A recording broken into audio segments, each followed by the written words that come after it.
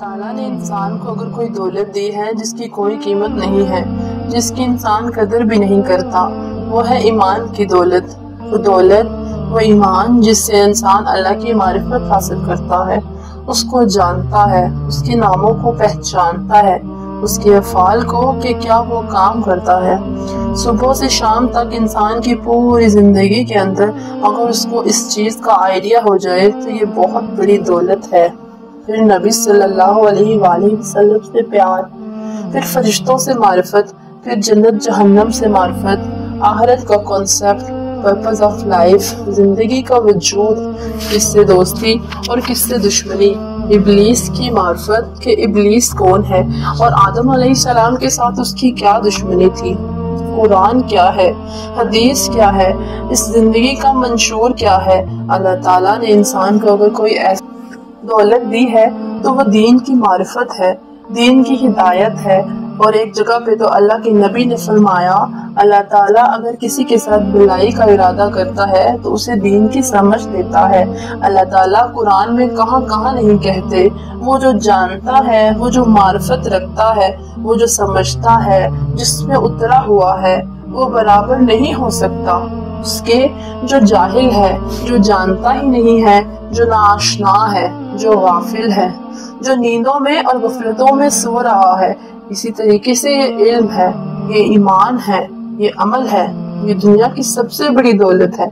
लेकिन अगर इंसान अपने ईमान का ख्याल ना रखे और उसकी परवाह ना करे और उसको ढीला छोड़ दे, अपनी ज़िंदगी को हल्का ले ले या अपनी ईमान वाली ज़िंदगी पर कॉम्प्रोमाइज़ कर ले तो इंसान का ईमान बुझते बुझते बुझते मासूमियत की वो आवाज़, फितरत की वो आवाज़ और फितरत सलीमा और अकल सलीमा की वो आवाज़ और रहमत जो अल्लाह ने इंसान के दिल में ईमान की शक्ल में उतारी थी, वो इसके सीने से, उसकी ज़िंदगी से बुझते बुझते उसे नफाक और कहाँ कहाँ किन वादियों में लेके जाती है कि इससे बड़ा नुकसान और हसारा नहीं। जो अल्लाह ताला कहते हैं, वल असरी इन इंसान अलाफी खुसर।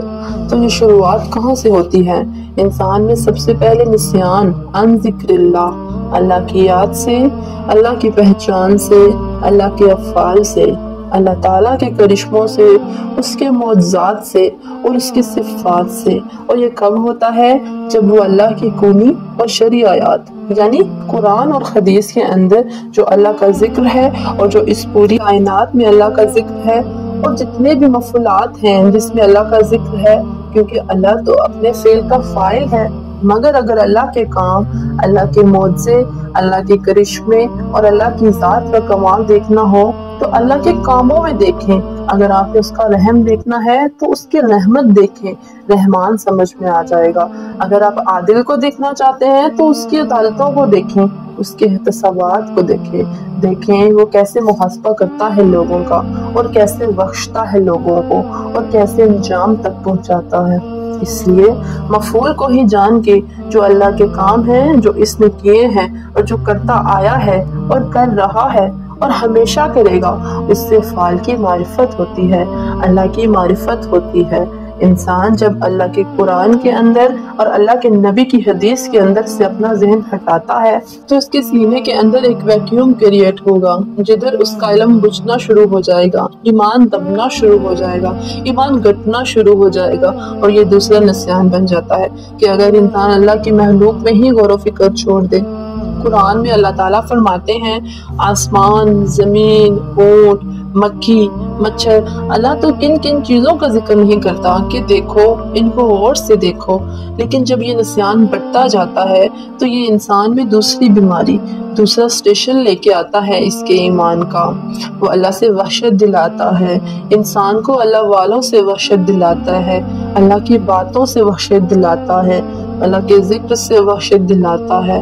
और इंसान का दिल करता है, मैं भाग जाऊँ। जब भी दीन की बात हो, मैं भाग जाऊँ।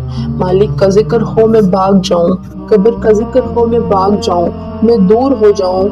मुझे इसकी तरफ़ कोई तरगीब ना दे।